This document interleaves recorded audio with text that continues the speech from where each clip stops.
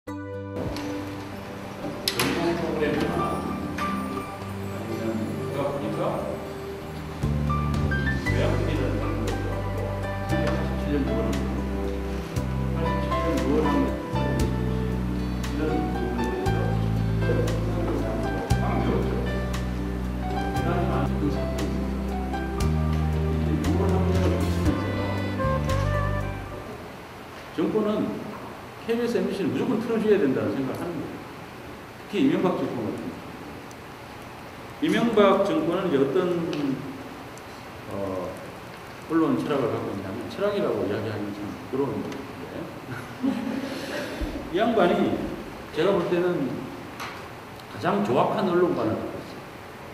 그래서 이 앞으로도 기업 그 돈 버는 데만 저 집중했던 사람을 돈 버는 것만 중요하게 생각하면서 살아왔던 사람을 중요한 자리, 공적인 자리에 앉히는 것은 상당히 문제가 있는 거 아닌가. 이게 아주 뼈저리게 느- 느끼고 있습니다.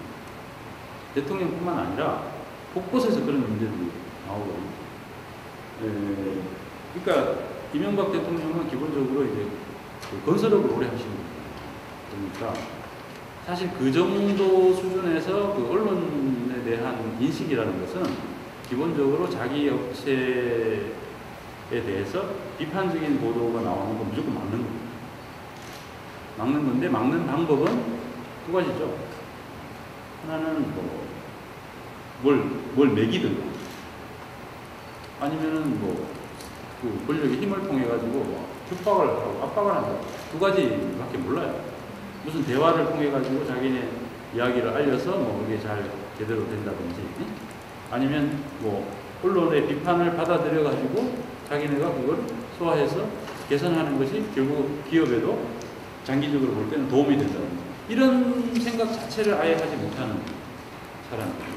파업은 뭐 지금 우리가 저기 조합원이 한 서울에 천 명 정도 되는데 그 천 명 조합원 중에 한 800명 정도가 이 파업에 참여하고 있습니다. 뭐, 1000명 중에 800명이 상당히 많이 참여한 거예요. 그동안 역대 우리 파업 저기 중에서. 예, 그리고 이제 예, 조합원이 아니고 비조합원이었던 분들도 어, 조합에 속속 가입을 많이 하고 있는 상황입니다. 그래서 지금까지 150일 가까운 시간을 끌어오고 있는데, 예, 결국은 우리가 이제 그 지금 이제 이명박 대통령의 과 김재철 이 두 사람의 동맹, 이 동맹을 깨뜨리기 위해서는 국민들의 어떤 그 여론의 힘 이런 부분들이 아직 좀 절실하게 필요한 그런 상황입니다. 그래서 이제 서명 운동 지금 진행하고 있는 중이고 전공 프로그램이나 아니면